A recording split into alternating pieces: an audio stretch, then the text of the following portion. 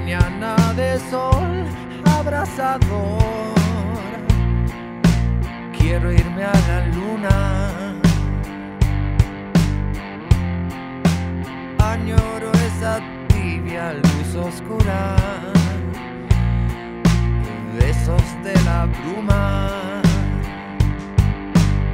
Y ahora sí, amigos, estamos con Gustavo Cordera aquí para charlar un poco de este nuevo material de Tecnoanimal, que es la, la novedad, ¿no? Muy trabajado y por suerte ya con muchas fechas que se vienen dentro de poquito.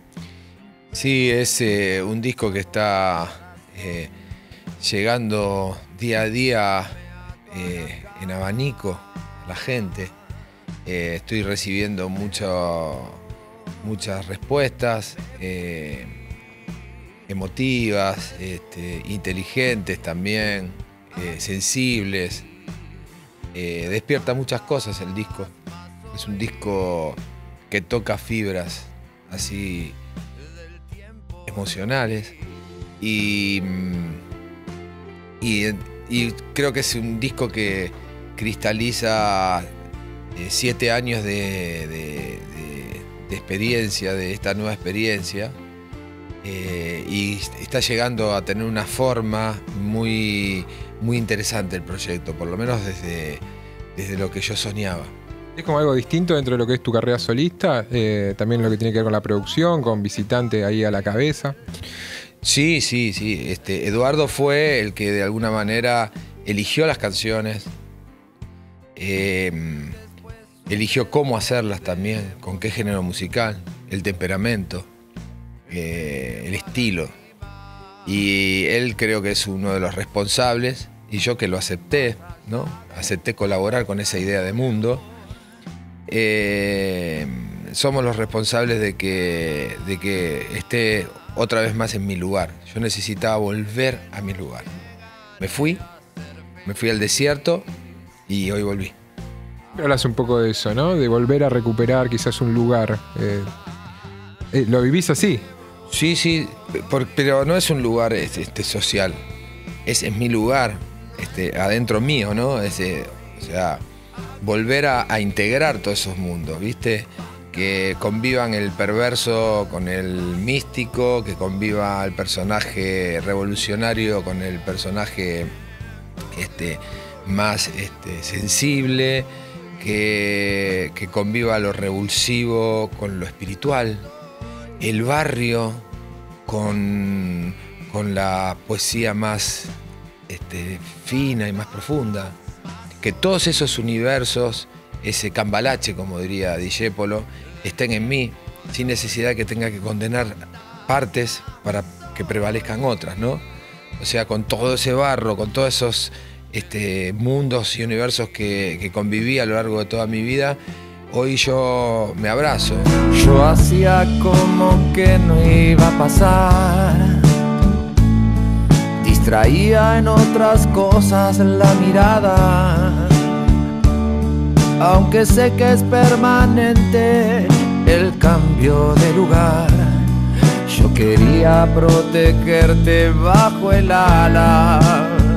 Imagino que muchos debían estar esperando, sobre todo en esta etapa, también una cosa así más política, si se quiere, de Cordera, y fuiste por otro lado, que a mí me parece que, esa es una virtud ¿no? de- de- del artista, de eh, no, no hacer, no repetirse, no hacer siempre lo mismo, no, inclusive no hacer lo que la gente está esperando de él. Yo creo que un disco político sería absolutamente funcional para el sistema. O sea, un disco político es lo que le encantaría a Macri y a Cristina para seguir creciendo en sus, este, en sus eh, errores, para seguir creciendo en sus eh, formas tan absolutistas de ver la vida. ¿no?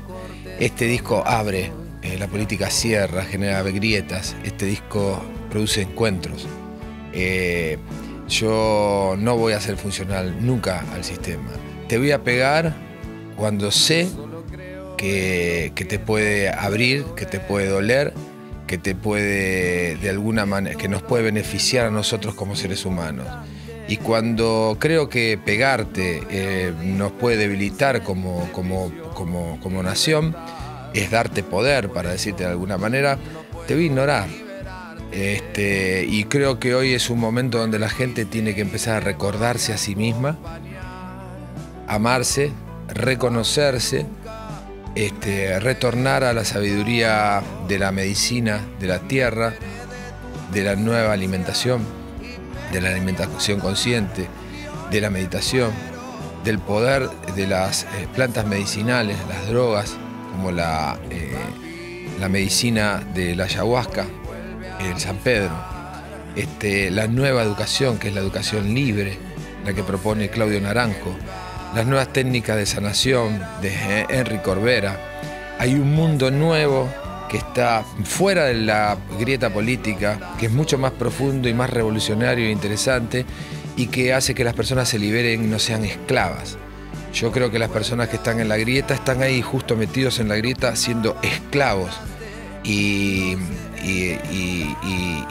hacer un disco político sería este, alimentar a esa grieta, alimentar a esa separación.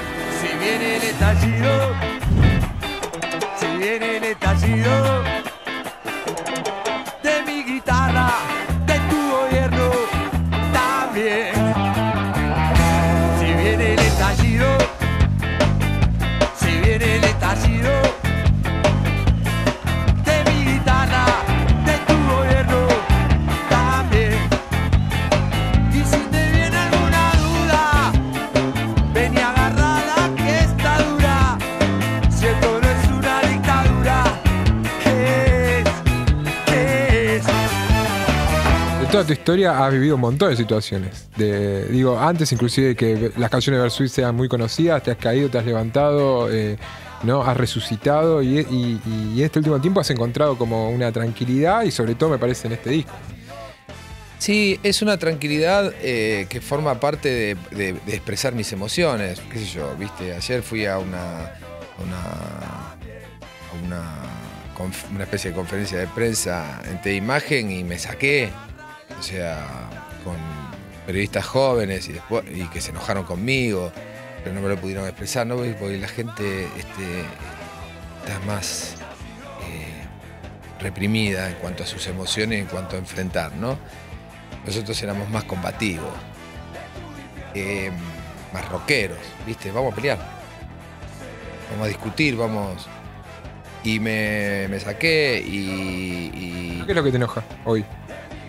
No, es que son pulsiones ah, viscerales, ¿viste? Hay veces que, que, me enojo con alguien, a veces que me enojo con, con un director técnico, a veces me enojo con un presidente, a veces me enojo con uno que vive en una repartición municipal, a veces me enojo, muchas veces, más veces me enojo conmigo mismo. O sea, me puedo enojar, también eh, puedo expresar la tristeza, la angustia, la alegría. Entonces, eh, eso es lo que me da cierto equilibrio y cierta tranquilidad. ¿Te enoja cuando te piden que vuelvas con Versuit? En un punto sí. En un punto sí. En un punto sí porque esa persona, yo sé que esa persona lo dice de corazón y lo dice porque tiene la- el deseo de que, de que, tiene el deseo de que ese pasado vuelva, ¿viste? Pero eh, es muy doloroso saber para mí que yo ya no puedo este, volver a tener 30 años, ¿viste? Es como ir a, un- a una tumba a pedirle a esa persona que resucite, ¿viste? O decirle a una persona que se enamoró de otra persona de su vida y que vuelva a su primer amor, ¿viste? Y gritarle en la casa que volvé con Marcela, volvé con Marcela. O sea, viste, eso no ocurre en la vida, pero sí ocurre con las bandas de rock. Y después lo que ves, lamentablemente, es que el dinero empieza a ser su fuerza, porque es un gran negocio la nostalgia, y, jugar a eso. Y las bandas a veces acceden. Y mirá los tantísimos ejemplos de bandas que han retornado y mirale las caras, loco. Mirá lo que pasa. Observalo realmente, observa lo que pasa. Si tienen algo que ver con aquello que vos amabas. Igualmente sos consciente, imagino que para un montón de pibes como, como yo, inclusive de, de 30 y pico a 20 y pico, 20 y largos a, a 30 y largos, eh, las canciones de Versuit eh, en esos finales de los 90 y principios de 2000 marcaron algo muy fuerte, una esperanza, una resistencia. Yo me acuerdo, y, recién eh, lo hablaba, de eh, banderas argentinas flameando, papelito celeste y blanco y salir del Luna Par realmente creyendo que cuando todo se caía a pedazo había todavía algo ahí por delante por qué luchar y, demás. Totalmente, totalmente. Y esa fue la impronta. Y hoy para mí la impronta revolucionaria es la conciencia. Y algo muy vago por el momento, pero la conciencia es ver solamente, tener los ojos abiertos, tener los ojos libres. Y siento que este, por alguna razón se me carga a mí la responsabilidad de, de la separación de Versuit. Me gustaría que le pregunten a ellos por qué no vuelven conmigo. Y no me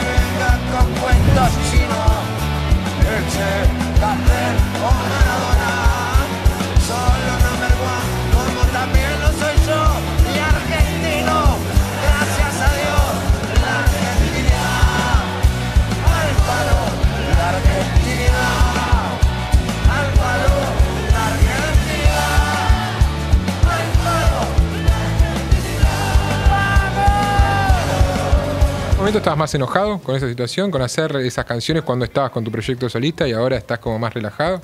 Estaba triste, estaba viviendo un duelo, estaba también enojado con mi pasado. Me castigaba por, muchas cosas que pasaron. Eh, y este, cuando pude verlo, cuando pude curtir el duelo, cuando pude expresarlo, vivirlo, me relajé. Este, mis hijos me ayudaron mucho a eso también, a, reconocerme en ese momento de mi vida.